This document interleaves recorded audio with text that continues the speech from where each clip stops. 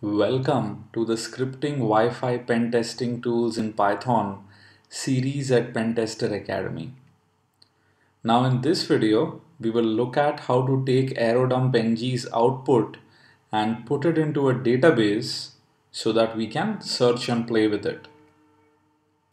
So what are we really going to do here? Well, Airodump-ng has an option where we can go ahead and store its output in the form of a netxml file. Now this XML file is something we can go ahead feed into an XML parser like Beautiful Soup and then mine and push useful information into the SQLite database. So let's jump right in. Now the first step is to make Airodump-ng create the netxml. Now this can be done very easily with the hyphen hyphen write option. And let's say we call the file pentester academy. This is what the file name would be prepended with. Let's give it a couple of seconds so that it can go ahead and mine some information from here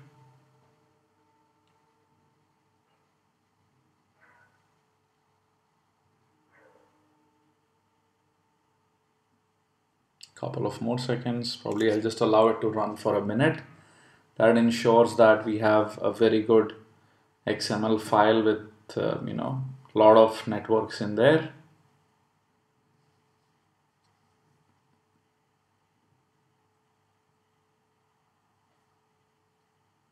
And you can see this classic issue where you know things end up just scrolling down from the visible screen and there could be a ton of networks right? So we see a lot of hidden SSID networks. Okay let me kill this. Now if I actually do a ls for all files prepended with Pentester Academy you would actually find a bunch of them. The one we are interested in is the Pentester Academy hyphen 01 kismet.net xml right. There we go. So if you notice inside this the different wireless networks are mentioned.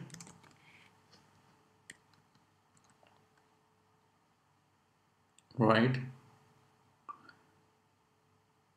And you can clearly see that there are both wireless networks as well as clients as well right now I'm going to show you with the wireless networks the client part is something you can try uh, later on. So let's actually look at what this file contains right? Let me just do a cat and let me do a grep on wireless network if you notice we have a bunch of these networks. I think 20 to be exact. Right we could even check for the ESSID fields. We can see a bunch of them in there. Cool. So now let's begin writing a Python script for this. Now just for our reference I'm going to open up the netxml file in another terminal now, if you notice, we actually have uh, each individual network beginning with a tag wireless network. And inside that, we have an SSID tag, which contains the SSID, the encryption. We also have a BSSID tag, and then we have channel and a bunch of other things. So in this video, we will take up each of these networks, figure out the ESSID, figure out the encryption, the BSSID, the channel, and then put all of this into the database. So let's first create our database. Just like in the last video, SQLite, let's call this database networks.db. I'm going to create a table, create table, let's call this networks as well. First field let it actually be an ID field just like what we had done before. And we would like this to auto increment.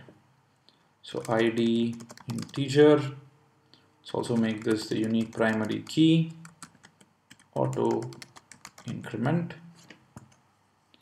Then let's put in a location parameter which the attacker can add. Location char 100 of course this cannot be null so not null.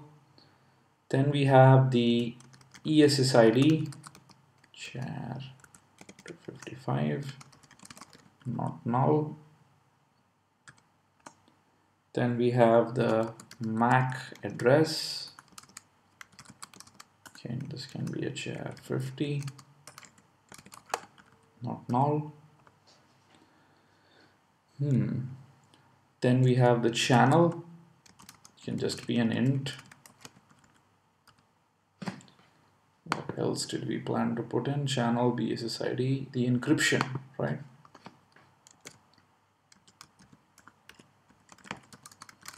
Can char 200 not null. There we go. So we have created the table in the SQLite file. Now let's go back in here and start writing some code. So let's call this airodump to SQLite.py.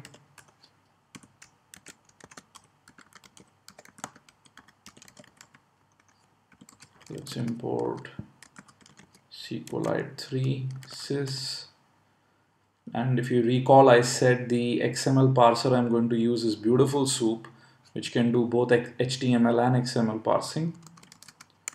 From beautiful soup import beautiful soup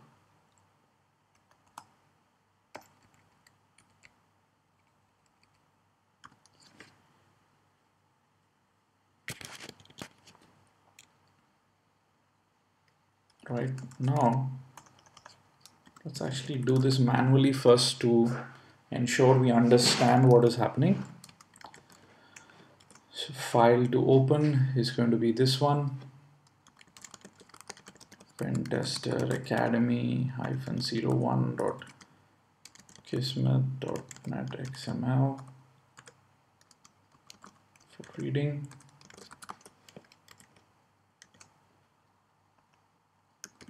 let's display the file. There it is. Now let's import beautiful soup.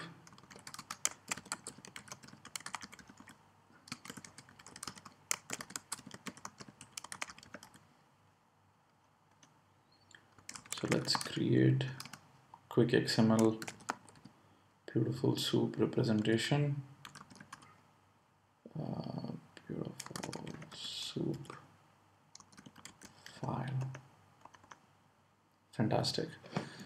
Now, Beautiful Soup actually allows us to search uh, for different, you know, uh, parameters very, very simply. So let me show you how.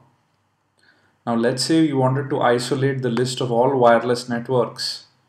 All I would have to do is uh, networks equals xml dom dot find all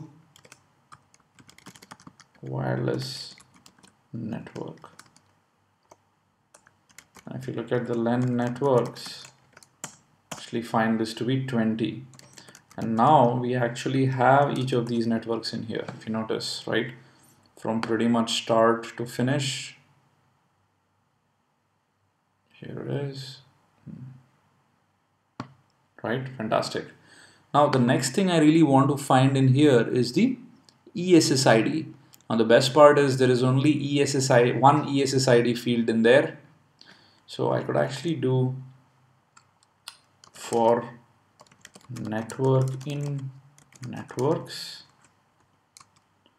print network dot find ESSID right? Then I can do a print ESSID oops uh, my mistake. For network blah blah blah. I just have to print this. I'm not storing that in a variable anywhere. And there you go. So if you notice we get the list of all the ESSID tags right? Now if we were interested only in the actual value uh, we could simply do this. Dot text and there you go. Now we actually have a list of all the SSIDs right? The blank ones are really hidden SSID networks which have nothing in there. You can see there are a couple of them. Fantastic. Now what else do we have here? Similarly we can actually go ahead and find encryption the BSSID as well as the channel right? So just do this for the encryption just to show you an example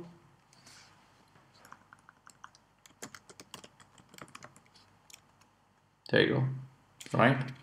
So now let's actually incorporate this in our python script. So file equals rather let me do a quick shortcut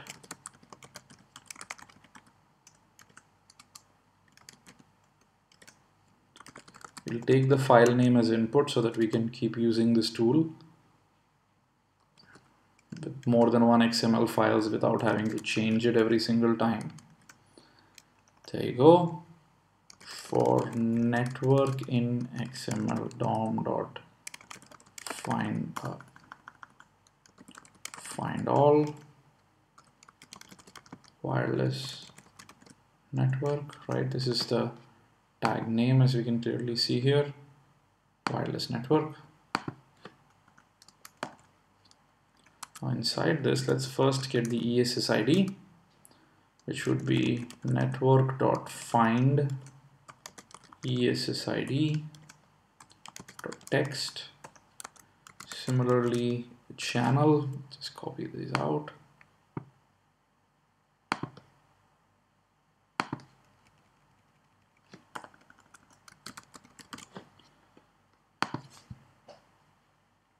channel similarly BSSID and then encryption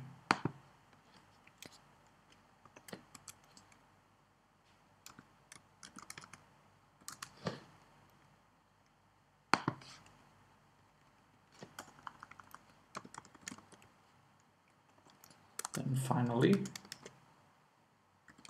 encryption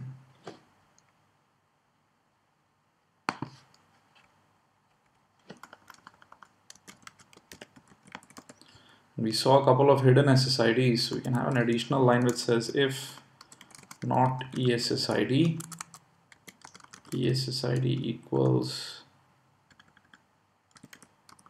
hidden ESSID just so that it looks good in the database. Now I can very simply do a print ESSID channel BSSID and encryption. Let's see what happens. chmod a plus x.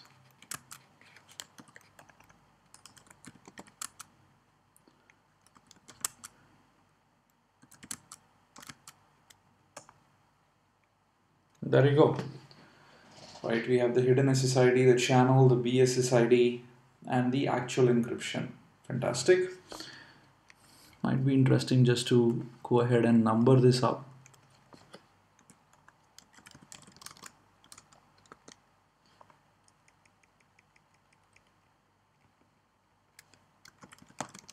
Makes it more readable.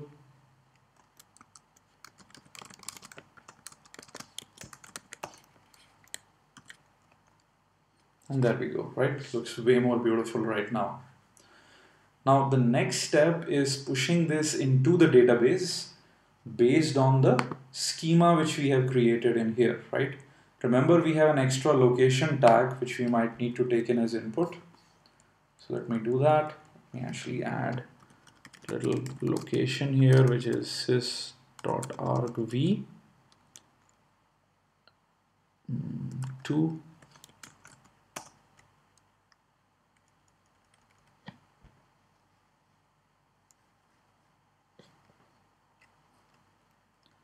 Now let's write the database code.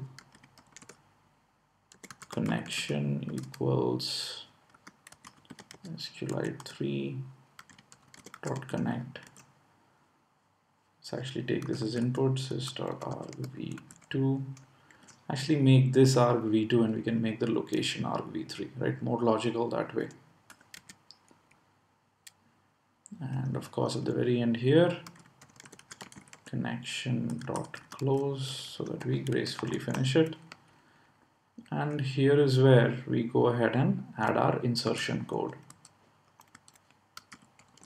connection dot execute insert into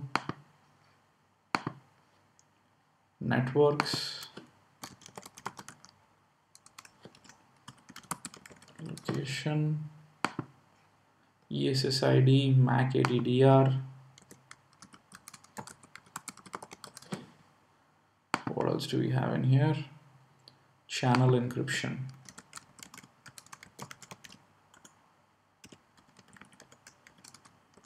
Values, there seem to be five of them. Question, question, question, question, question. Then let's actually put in the values our location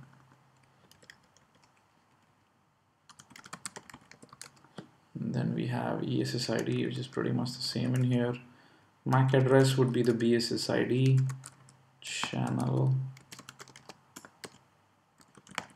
we have encryption seems okay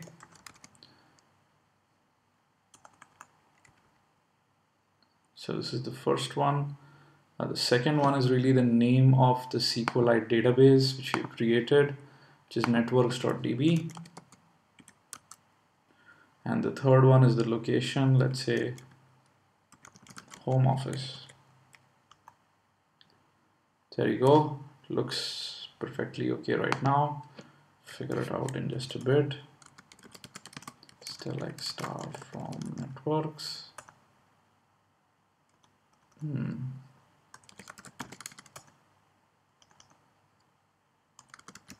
ah, here is our huge mistake we forgot to commit it right remember that after going ahead and executing this you can actually commit per entry or you can commit in a batch. I'm just going to commit each of them. Right you could even commit after you exit the loop once for every single thing. There we go. And there you go. Fantastic. Right so now you can run really interesting queries on all of this. So for example if you were interested in all access points which might be in channel 11 you could actually do a select star from networks where channel equals 11 there you go. You have both of these. Right? Now there are a ton of other parameters depending on what you're doing could be interesting to you. And that's something I would go ahead and have you explore.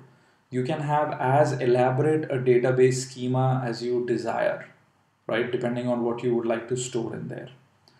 Now the advantage I've seen from a pen tester's perspective is that this really allows you to uh, retain the data well, to allow you to search better, uh, and actually you can even dump it in different formats and you know import it into different uh, reporting tools and whatnot. So I would highly recommend going and creating such a schema for yourself so that you can analyze networks better.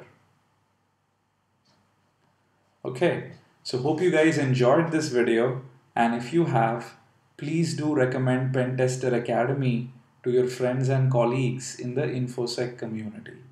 Thank you.